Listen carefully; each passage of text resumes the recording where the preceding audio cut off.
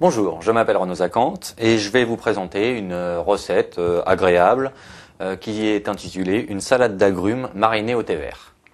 Pour ce faire, très simplement, on va se munir d'oranges, hein, des oranges bien fermes, d'autant que la saison commence à arriver, donc on va avoir des oranges qui vont être parfumées et qui vont être agréables à manger. Et le deuxième agrume pardon, va être les pomelos. Donc ce sont des pomelos roses qui va justement nous donner un contraste de couleur dans l'assiette. Donc bien entendu, nous avons ici du thé vert pour effectivement mariner nos agrumes avec ce thé. Pour ce faire, nous allons donc commencer à lever les segments d'orange. Donc les segments d'orange, en fait, tout simplement, ce sont les quartiers des oranges. Donc pour ce faire, on va découper en premier les deux bases de l'orange. On se prévoit un petit récipient pour mettre ses épluchures. Et ensuite, avec le couteau, on va découper la peau en suivant l'arrondi de nos oranges. En essayant de ne pas enlever trop de pulpe et en même temps d'enlever le maximum de peau blanchâtre qui donne un goût amer à l'orange.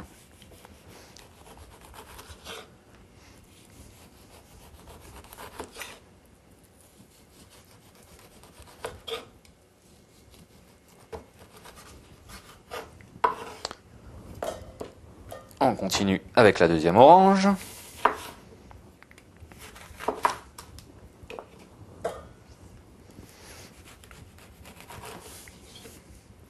Donc c'est vraiment une tâche très simple à faire, vous verrez. C'est rapide et c'est une petite salade qui est, ma foi, bien agréable en une fin de repas qui a été un petit peu lourd et indigeste.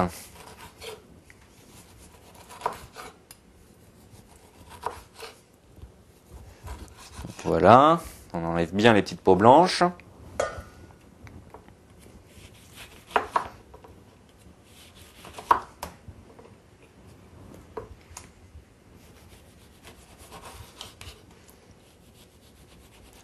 Donc bien entendu, se munir d'un couteau bien affûté, ce sera beaucoup plus facile pour ne justement ne pas casser les quartiers des oranges.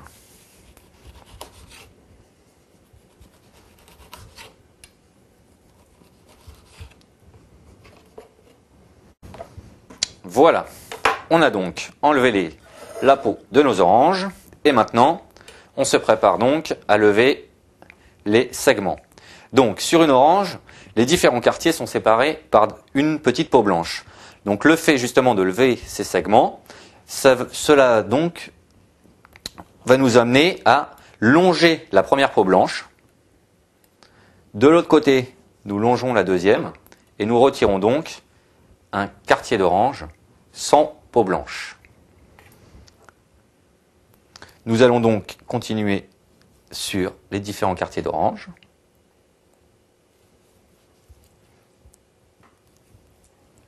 Vous voyez, ça se découpe tout seul. Les quartiers s'enlèvent. Ils restent bien entiers. Mais c'est aussi pour ça qu'il faut un couteau vraiment bien affûté.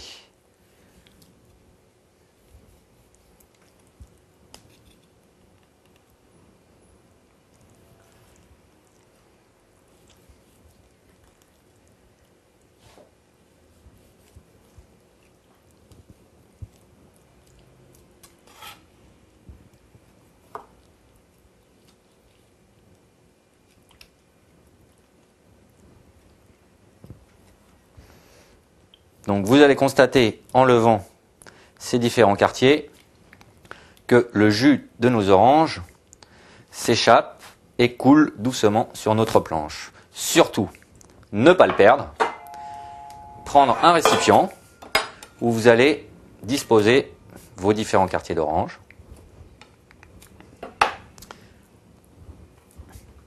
Vous allez récupérer vos différentes peaux blanches et les presser pour retirer le maximum de jus possible. Voilà, comme ceci, on n'a plus que les peaux et plus du tout de jus. On récupère aussi le jus qui s'est écoulé sur la planche, car cela fera notre sauce à la fin de notre recette. Nous continuons donc la deuxième orange.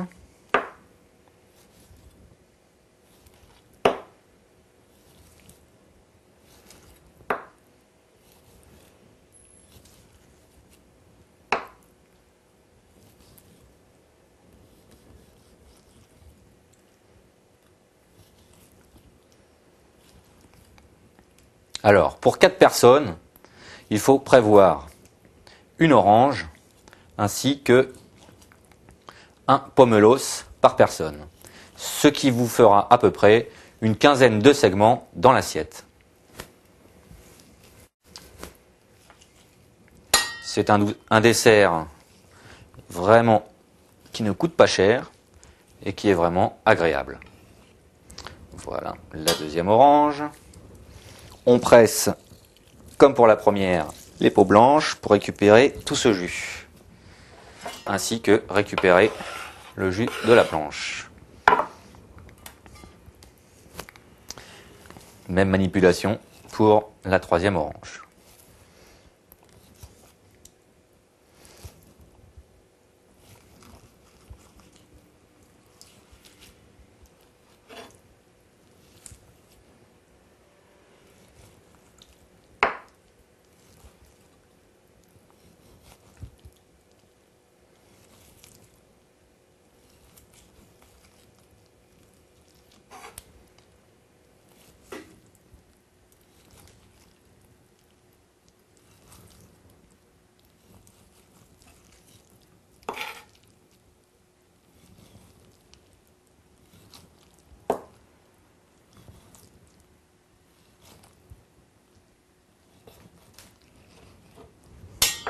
Voilà. On a donc nos différents quartiers d'orange. On continue, on presse la peau et on récupère le jus. Donc deuxième manipulation, les pomelos. On va pratiquer exactement de la même manière. Nous découpons donc les deux bases du pomelos et comme pour l'orange, on va découper en suivant l'arrondi de notre fruit. Vous voyez cette couleur rosée bien agréable du pomelos. Donc surtout, même principe, essayez d'enlever au maximum les petites peaux blanches qui donneraient éventuellement une petite amertume en bouche lors de la dégustation de notre dessert.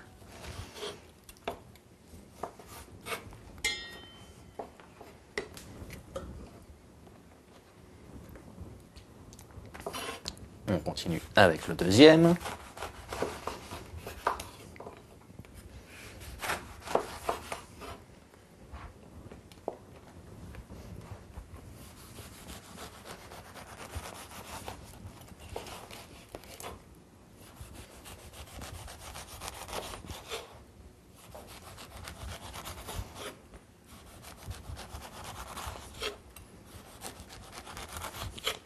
Alors, vous constaterez en réalisant cette recette que les quartiers d'orange sont un petit peu plus difficiles à découper que les quartiers de pomelos.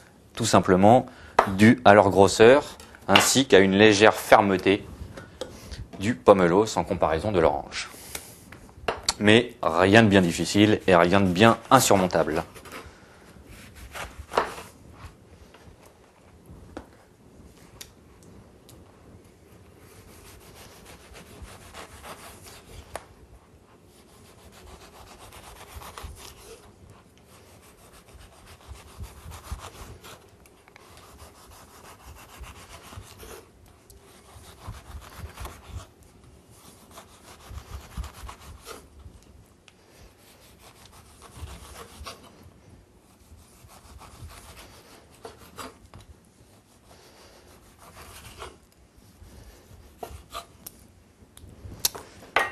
Ceci.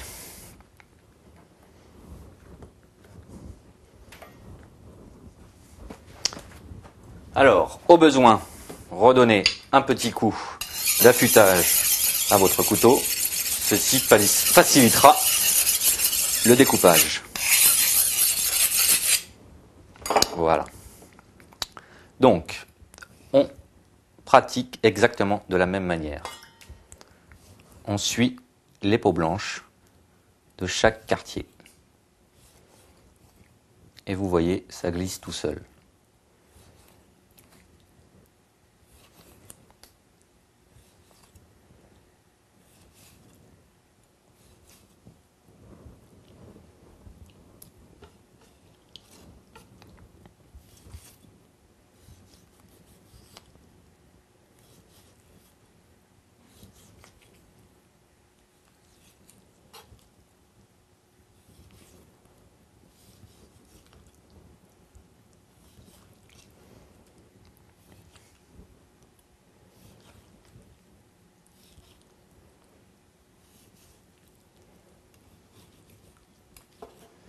Comme ceci.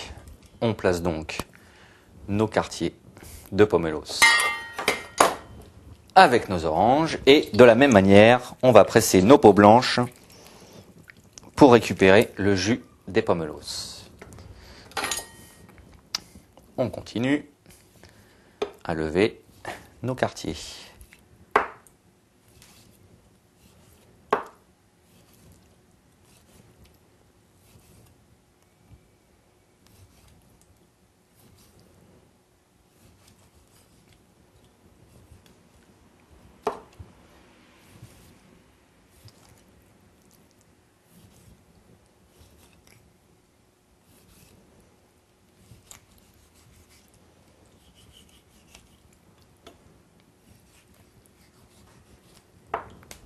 Voilà.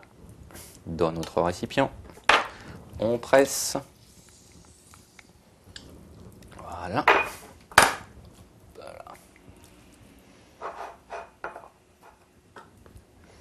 Et on récupère le jus de notre planche.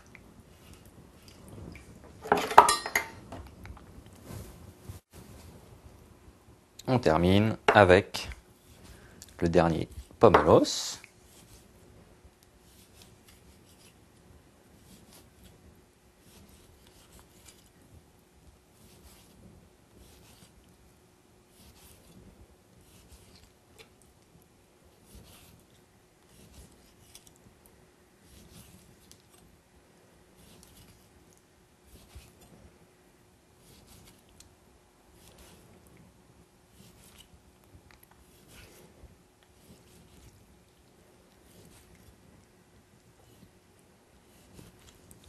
Voilà. On réunit nos pomelos, on presse.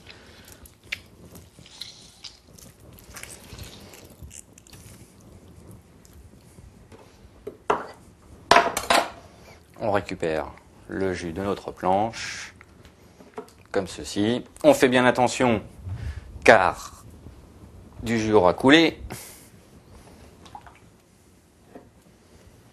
Mais c'est pas du tout gênant pour la suite de la recette. Nous en avons suffisamment dans notre récipient. Alors, maintenant, comme je vous ai dit tout à l'heure, c'est une salade d'agrumes marinée au thé vert. Donc, nous allons donc rajouter du thé vert. Nous allons saupoudrer nos agrumes de thé vert. Voilà, comme ceci. Nous allons bien les mélanger. Le tout à la main il n'y a pas mieux pour mélanger. Voilà, comme ceci. Il ne vous reste plus qu'à laisser reposer votre recette de manière à ce que le thé vert infuse correctement, gonfle légèrement et transmette son parfum au jus et ainsi qu'aux agrumes. Donc vous le laissez bien au frais de manière à ce que cette salade soit la plus fraîche possible. Et l'idéal serait de le servir avec un sorbet au thé vert ou bien tout simplement un sorbet euh, à l'orange sanguine, ou euh, si effectivement vous avez un petit peu du mal à trouver des sorbets un petit peu euh, qui sortent un petit peu de l'ordinaire, servir tout simplement avec un sorbet mandarine, un sorbet orange, peu importe. À vous de choisir, à vous de vous faire plaisir. Après tout, c'est votre recette.